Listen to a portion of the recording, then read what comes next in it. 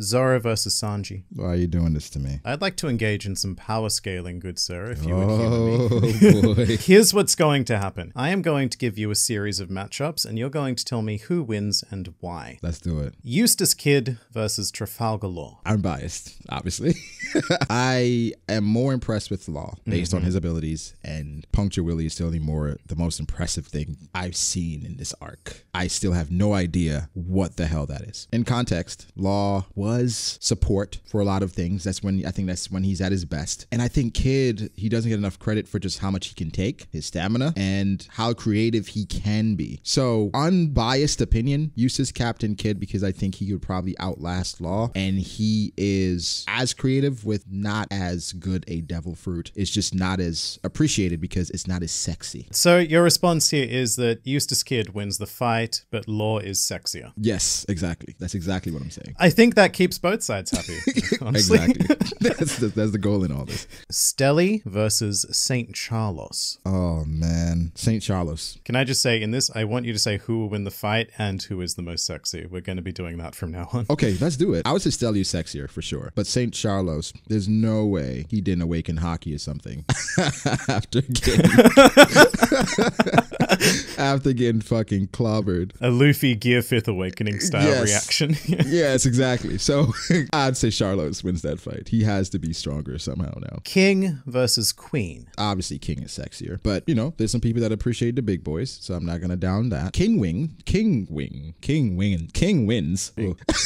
King wins uh, because I think Queen is as brilliant as he is, is stupid. Well, I think he's an idiot, but he's brilliant. If you know they fight, it'd be difficult, but I think King wins. Okay. mm, okay.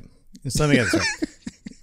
You think that King Baum would defeat the Queen Mama Chan? Hold on, hold on, hold on, hold on, hold on. I, I've let you have your like incoherent ramble, but this is King controversial and we need to get to it. Uh, okay, hold on. Ask me that question. Who did you think I was referring to? I- King Baum versus Queen Mama Chanter, the ship, Big Mom's ship. Oh my god, this is a lot more difficult of a matchup. I gotta go with King Baum. I think the ship is sexier though. Definitely tastier, I would say. Yeah. Would it work the same way if it was tag teaming, like King King versus Queen Queen? Or King and Queen versus King and Queen? I don't know. Are we underwater? Actually, King can fly and Queen can do things. So yeah, yeah, still the same. still the same thing. Absolutely. And Queen can also do things. Yeah. Important matchup Zoro versus Sanji. Why are you doing this to me? This is official and on the record, and whoever you choose will be the victor. So I saw your poll. Oh, that's very sneaky of you to have looked did. that up in advance. so I saw the results of that, and that was overwhelming. I do agree. Zoro is the victor. I do think it's a much, much closer than people would expect with Sanji and his exoskeleton at this point. I do love Sanji, though. I love them both.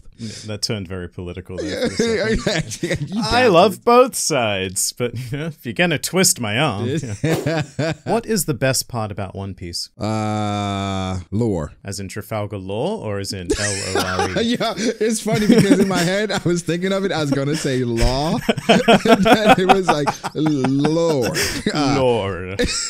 yeah, One Piece is lore, world building, and the history and everything that's built up over time. The best thing about One Piece. What is the worst part about One Piece? Uh fights. Really? Fight expectations. I think what happens is that Oda does a masterful job of building up interactions, and then so you kind of play them in your head, and then sometimes it happens, then sometimes it's like it's like a build up, and then it just they just walk away like Doflamingo and Aokiji, like oh shit, okay, okay, okay, it's happening, it's happening. Fuck. It didn't happen. Or the Oden flashback. Okay, we have Whitebeard, we have Roger, we have Rayleigh, we have Scopper, we have Oden. God, it's gonna be insane. It was insane, don't get me wrong. But like in my head, I thought of like a five chapter war of Rayleigh and Oden fighting, Scopper, me. It wasn't that. Right? I think if I had to pick the worst part about One Piece, I would say personally my expectation for fights. If you had to get rid of one straw hat, which would it be and why? Oh man. So for Whole Cake Island, I would 100% would have said Brook. I had gotten tired of the panty joke. I did. I no longer thought he was funny. However, Brook has proven his immense value in these last two or three arcs. He, I, Oh, yeah. I, I, I love Brook again. I would get rid of Chopper and recruit Law onto the ship. I mean, that wasn't part of the question. that is what I would do. My poor baby. Look into his eyes and tell him that you're getting um, rid of him. I'm sorry. Everyone oh, else, It's okay, Chopper. everyone else, I, I, I can't. We, we Usopp can't go anywhere. Nami, Robin, we need those. Franky, he's a ship. You know, Jinbei. Hold on, let me think about this. While you think, he's going to stay here and stare you in the eye throughout the rest Okay, of the video. Okay, okay. I'm. I like. No, Chopper. Sorry. Final answer. Yep, sure. All right. Off, Chopper. Which animal in One Piece is your favorite? Animal. The animal, yes. I know there's a lot of great ones to choose from. Take your time. Ah, the my favorite animal in One Piece. Yes. Oh crap. Um, does it matter if they've eaten a devil fruit or not? No, they can be completely fruitless. Fuck. So, so far your answer is shit, fuck. oh, I'm going between um Karoo and Ryunosuke. Part of Kung Fu Dugongs. Yeah. very good. Let's let's go with them. Just going to make this clear. My answer would have been Southbird Interesting mm-hmm. answer. Why the Southbird? because he's so damn smug. He just sits up there, looks Yes. down upon you. what is your favorite laugh in One Piece? It's between Doflamingo and Whitebeard. it's like what the fuck even is it? It's perfect. Like it's just grumbling, mumbling, just in your throat things. But those two, Moria's up there as well for me. What does he sound like?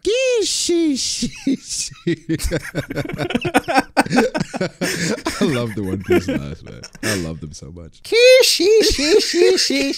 It is so crazy. The other one that often gets brought up would be Perona. They're like, uh, well, since you love to laugh, I've got some jokes for you, some One Piece themed jokes. Oh I would god. like I would like to make very clear that these are not my jokes. I uh, source these from members of the Grand Fleet, and I would like you to rate them out of ten. Okay, Are you ready to laugh? Maybe. maybe. Let's see. What color is Sanji's bedroom?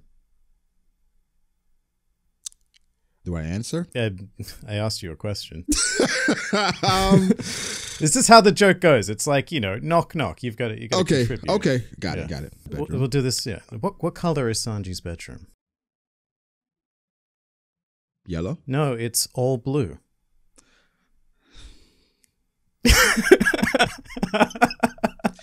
Okay. um, I give that an 8.5. Eight point five. Wow. All right. I love dad jokes, so Why couldn't Brook learn the alphabet? why couldn't he? Because he got stuck at sea. Okay. 6.5. Six point five. Okay, we've 6.5. taken a big step down, which is, 6.5. I think, what I expected. How do you steal from CP9? How do you steal from CV? How do you steal from CV9? You rob Lucci. Okay, that's good. That's really good. That's a nine. Why can't you trust Nami? I don't know. Why can't you trust Nami? Because she might end up robbing you. Ah, 6.5. Why does no one have time for fishman jokes? Why doesn't anyone? Because they are long. Okay. All right. 8.5. Rob Lucci won the uh, won the joke off. Do you like games, Mr. BDA I actually do. That's wonderful because we just so happen to have a game of hat in a bag set up to play. Would you like to play? Okay, let's uh let's do this. So, in case you're unfamiliar with the rules of hat in a bag, it's very simple. There is a One Piece themed hat in this bag. Okay. And it's going to be your job to guess what it is. You may ask me three yes or no questions, and then you will be forced to guess which hat is in the bag. Simple. Let's play hat in a bag. Is the hat orange? No. Is the person who wears this hat a captain? Yes. Have we seen this hat in Wano so far? Yes. So just to recap, it's not orange. The person is a captain, and the hat has been present on Wano. Which the vague nature of which you said it can mean either flashbacks or in the present timeline. I realized that when I asked that. Unfortunately, the Wano flashback just so happens to take a journey around the whole world. it is time to guess which hat is in the bag. Okay, the hat in the bag is the straw hat. Yes, you are correct. It was the straw hat. Congratulations on winning hat in a bag. Which warlord of the sea does not deserve to be a warlord? Mihawk. Oh, ooh, ooh, ooh. Uh, mm, mm, yeah, mm, go expand. I think Mihawk is way too powerful to be a warlord. It's like you're bringing somebody under you or someone to control that you know you can't control, but they're just there to shoot the shit. And it's like, why even engage with this person that you're not, that they're not going to do the things you ask of them? And so for Mihawk, I think he should not be a warlord because he is a Yonko without a crew. Right, so your answer to that deliberately controversial question was essentially the job interview question of like, what's your greatest fault? Oh, I'm just too hard a worker for Just this I'm too good for this, man. I'm way too good for this. All right. Shit, you're hired. If Luffy wasn't the main character of One Piece, who would you like to follow? If I had to choose a new main character, does it have to be No, no, you go on. Don't worry about what's happening here. um does it have to be in the past or present? Doesn't matter. The only one I'm going to say it does matter is it can't be in the future. It can't be someone that we haven't Can't be met. Luffy's kid. Can't be Boofy being mentored by Boofy. Katakuri. No. You want Boofy to take Luffy's place in One Piece. Right, and then he's gonna meet Katakuri. And he's gonna be like, that's gonna be like his dad, like Whitebeard was to Ace, and he's gonna try to like outdo his dad because his dad is so great. Or sort of like the Luffy Rayleigh relationship as well. Yeah. Since we've been following a the, the pirate, I would like to follow a marine, and the most interesting marine I think has been Garp. So I think Garp's journey to where he is because he has a fucked up family. I don't know how Thanksgivings are there. Quick response not allowed to think about this. First right. thing that comes off the top of your head, very important question Who is the next Straw Hat? Go. Yamato. Easy. Well, thank you so much, BDA Law, for taking the time to uh, participate in this shenaniganry. It went semi to plan, I would say. Um, No problem. I appreciate you having me on this shenanigery. Is that a word? it is now. You can check out BDA Law in, in the place. I'll have a link. Thank you again.